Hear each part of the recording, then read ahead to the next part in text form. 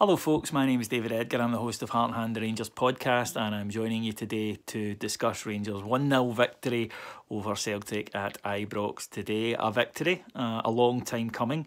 We've waited for that for a while, and when you think, and I'm sure we all did when the final whistle went, when you think of all we've gone through these last few seasons, these last few years, where the very existence of our club was put in doubt for a while and we had to battle and fight to, to get through it. That meant the world to each and every one of us today. And yeah, I'm sure that there'll be people mocking and say, oh, it's just a league win, but you weren't there. You don't know.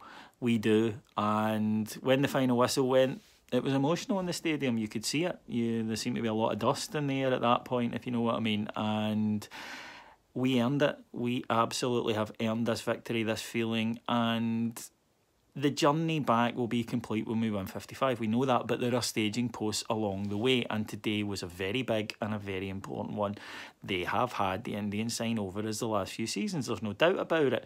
And until we start recording victories against them, then it won't change. But today was about heart and spirit and drive and effort and the players delivered. Let's be honest, Rangers had at least four players out there today who weren't fit.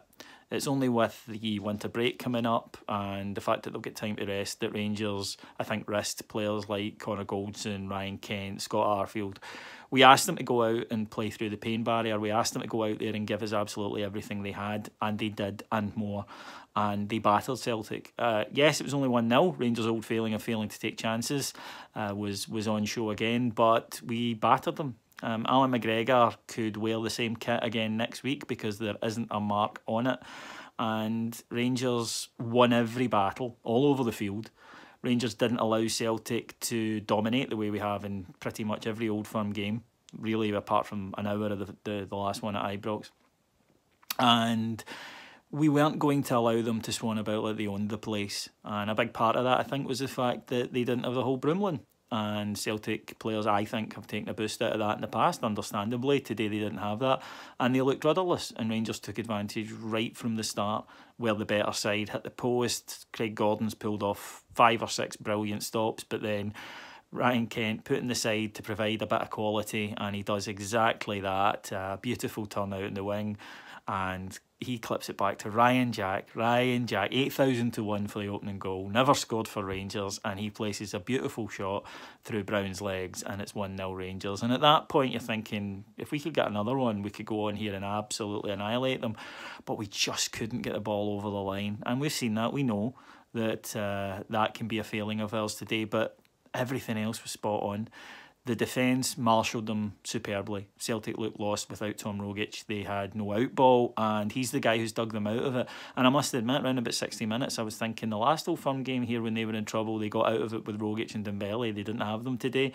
And Rangers were a different animal. Rangers were not waiting to be thrown off course as we seemed to do last year. Rangers were determined that we were going to see this one out.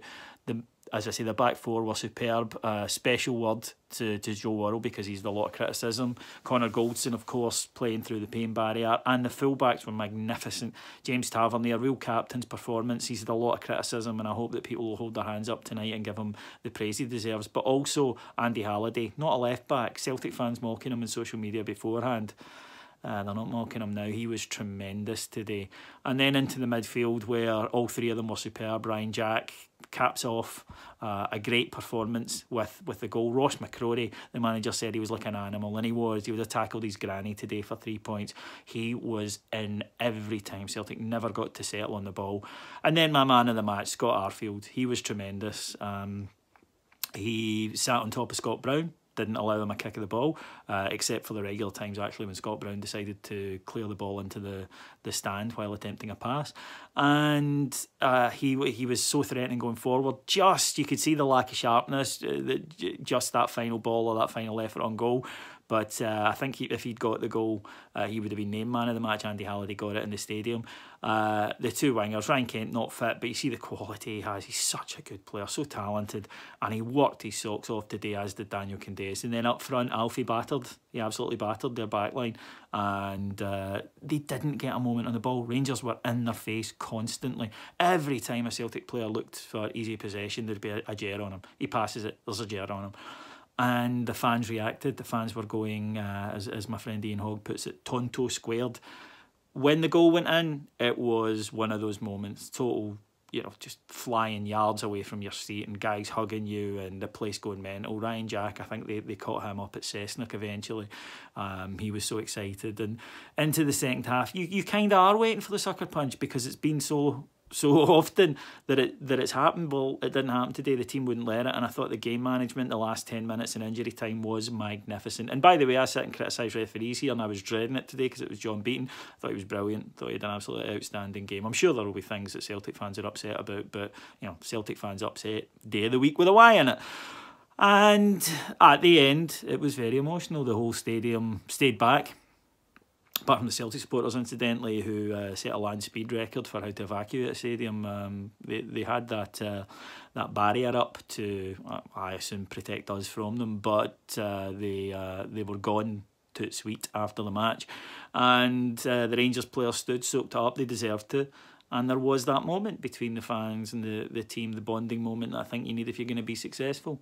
The manager came out, he deserved it. And let's remember the next time we don't have a great result when people are are flinging off the brickbats and, and talking about Stevie G. This guy's a winner. He is going to get us where we want to go. If we believe in him and we back him and we give him time, the guy is nothing but success for us. And let's look where we are just now. We've had this European run. We've brought in 12 million quid and we're now sitting top of the league uh, equal top of the league, admittedly, ready to rest, bring in players, and go again in January. Don't tell me that's not progress. That is exactly what we asked for in the summer, and we have had it. And now we've achieved something that we needed to. We just needed to for our own psyche, our own sanity, more than anything else.